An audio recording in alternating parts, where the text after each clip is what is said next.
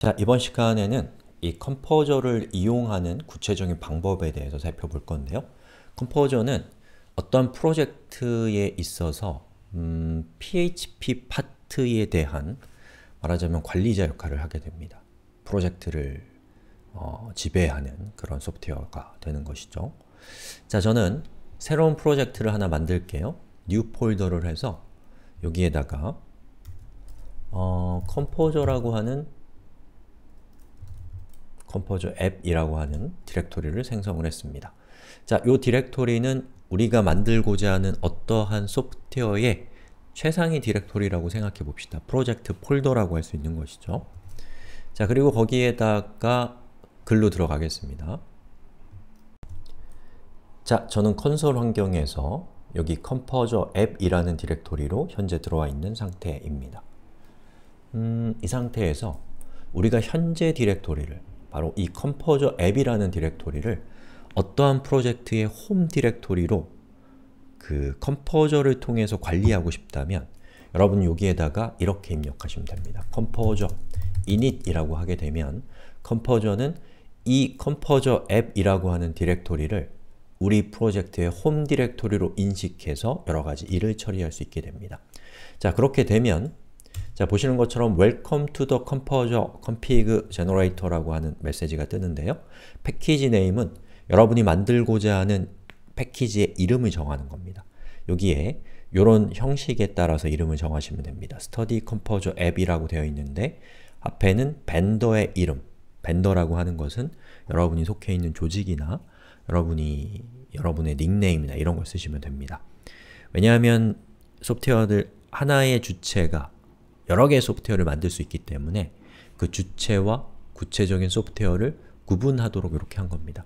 예. 그럼 저는 여기다가 egoing slash composer app이라고 이렇게 하겠습니다. 뭐 대문자 이런 것들이 허용되지 않기 때문에 우리의 디렉토리 이름 기반으로 해서 권장되는 이름을 추천해주고 있는 거예요. 자, 엔터.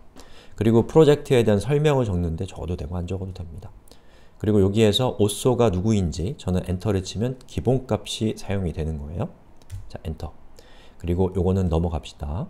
그리고 package type은 우리가 만들고자 하는 패키지가 일반적인 프로젝트인지 또는 라이브러리인지 이런 것들을 여러분이 지정을 하는 건데 일단은 지정하지 않고 엔터를 치겠습니다. 라이센스도 엔터. 그리고 요것도 엔터, 엔터, 엔터, 엔터. 그리고 엔터.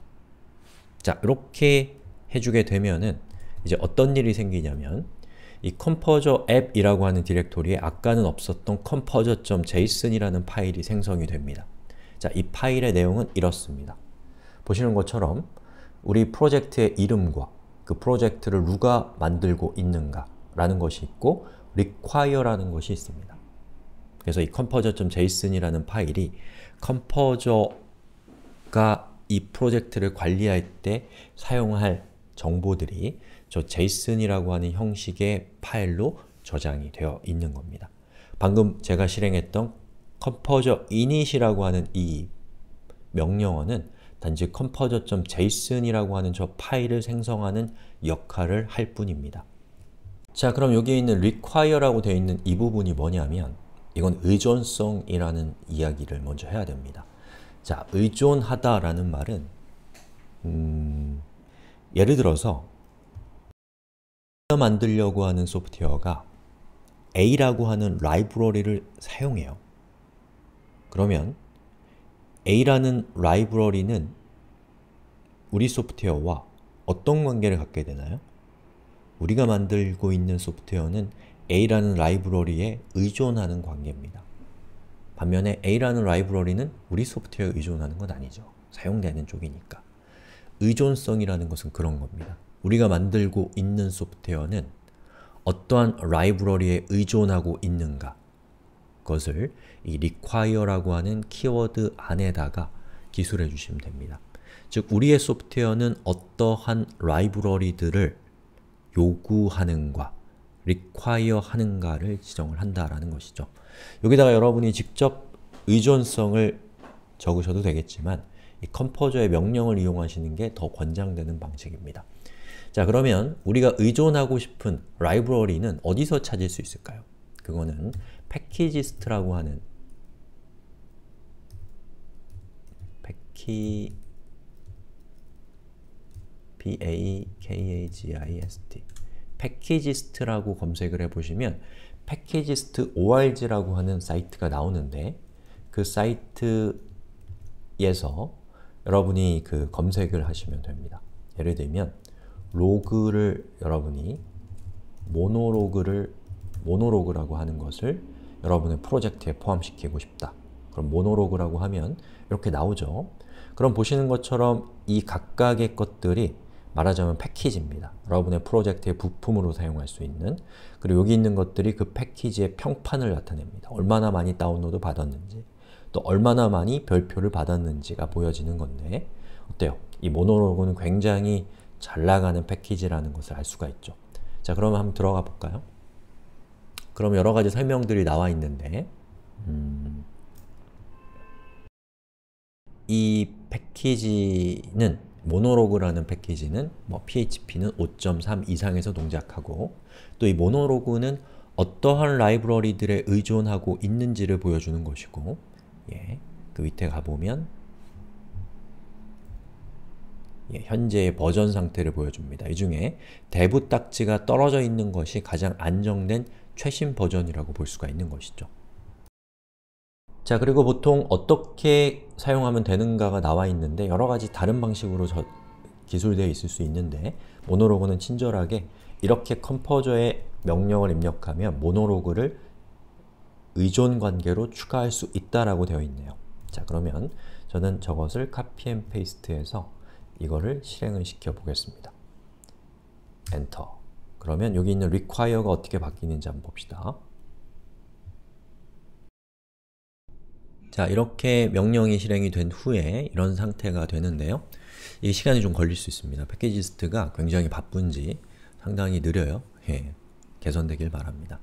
자, 그럼 어떤 일이 생기냐면 첫 번째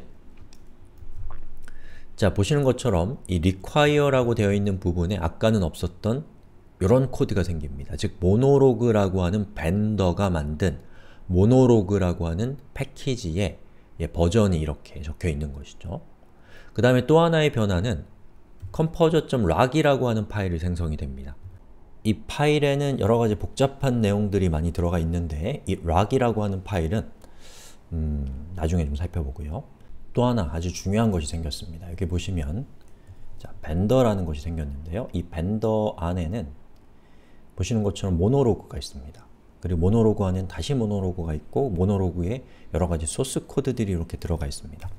자 여기 우리에게 우리가 컴포저에서 모노로그라는 벤더에 모노로그라는 패키지를 이 프로젝트는 의존하고 있다 라고 이렇게 적어준 거죠. 버전은 이것이고 그에 따라서 Composer가 우리 대신에 이 Monolog라는 프로젝트를 우리의 프로젝트에 vendor라고 하는 약속된 디렉토리에 다운로드해서 설치하는 것까지 다 해준 겁니다. 굉장히 편하죠. copy and paste 같은 거 하실 필요도 없습니다. 자 그러면 우리가 이제 그 의존성을 설정하는 것까지 했으니까 다음 시간에는 이 Monolog라는 프로젝트를 우리의 프로젝트의 부품으로서 포함시키는 방법을 살펴봅시다.